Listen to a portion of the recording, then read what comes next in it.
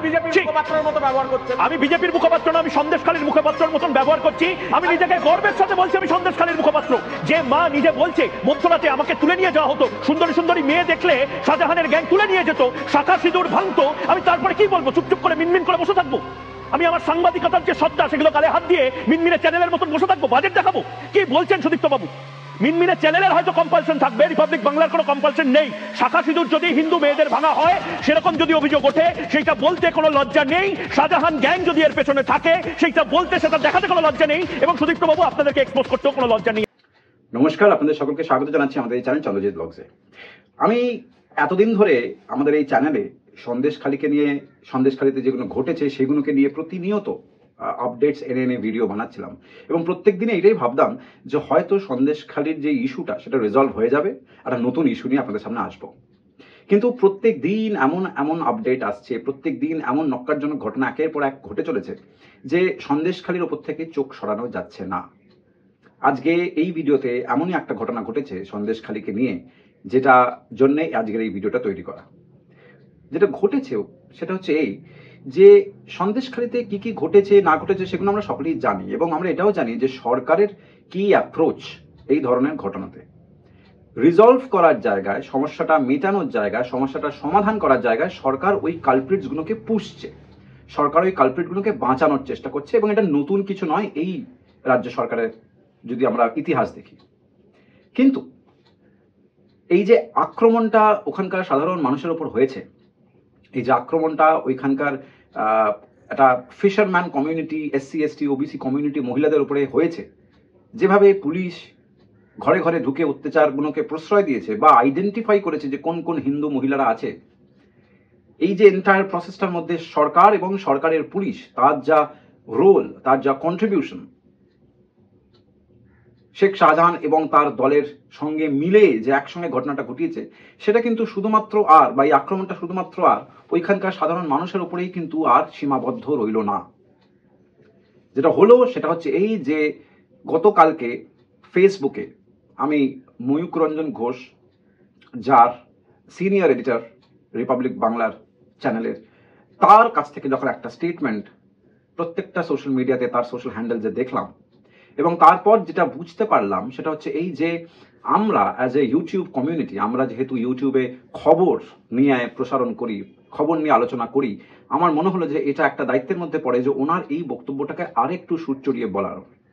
ওনার পাশে দাঁড়ানোর তার কারণ যে ঘটনাটা রিপাবলিক বাংলার রিপোর্টারদের সঙ্গে ঘটেছে সেটা সত্যি মেনে নেওয়া যায় না।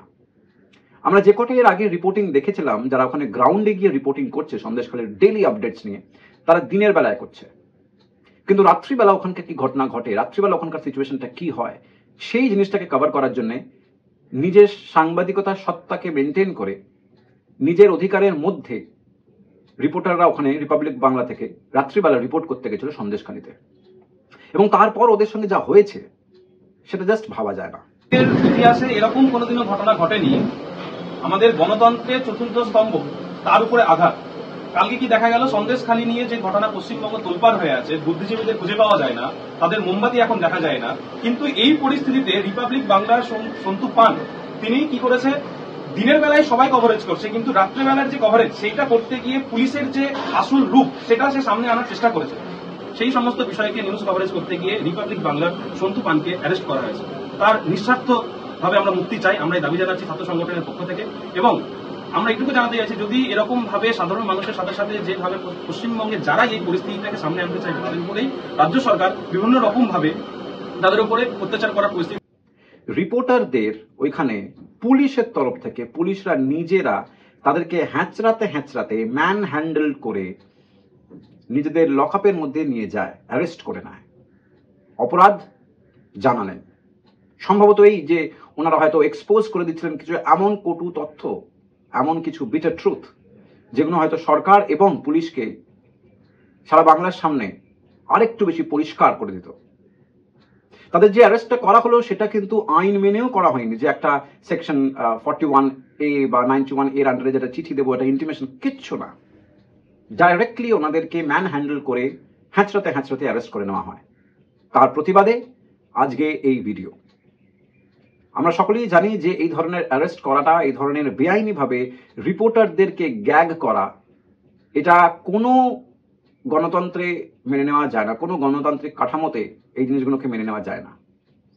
মিডিয়া একটা ফোর্থ পিলার আর তার সঙ্গে যদি এই ব্যবহার হয়, শুধুমাত্র এই জন্যে যে তারা সন্দেশখালীর মুখপাত্র হয়ে, সন্দেশখালীর মানুষের যন্ত্রণা, সন্দেশখালীর মানুষের যে কষ্ট সেই সত্যি কথাগুলোকে বলার দায়, তাদের কিন্তু হাজত বাস হতে পারে না।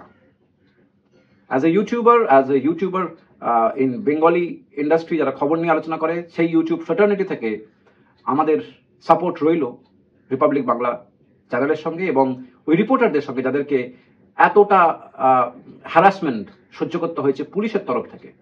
সুতরাং রাজ্য বা স্টেট কীভাবে নিজের পাওয়ারকে মিসঅ্যাপ্রোপ্রিয়েটলি ইউজ করছে সত্যিটাকে ধামাচাপা দেওয়ার জন্য, সেটা আমাদের চোখে আঙুল দেখিয়ে বুঝিয়ে দিচ্ছে যে কতটা এরা মানে পুলিশকে দলদাস বানিয়ে রেখেছে এবং কতটা শেখ শাহজাহান এবং তার সাগরেদরা তৃণমূল দলের জন্য কতটা গুরুত্বপূর্ণ।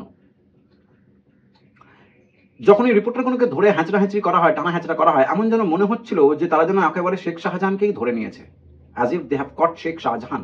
এটা আমার বক্তব্য নয়, এটা ময়ূক রঞ্জন ঘোষের বক্তব্য। এবং এই কথাগুলো কিন্তু হাওয়ায় ভাসছে না, এগুলো কিন্তু গ্রাউন্ড রিয়ালিটির উপরে বেস করে। মিডিয়াকে যদি এইভাবে গ্যাগ করা হয়, তার পেছনে উদ্দেশ্যটা কি? সেটাও কিন্তু বুঝে বা সেটাও কিন্তু বোঝার প্রয়োজনীয়তা আছে। মিডিয়া যদি সত্যিটা দেখিয়ে দেয়, তাহলে কিন্তু হয়তো সরকার বিপদে পড়তে পারে, হয়তো সেই কারণের জন্য।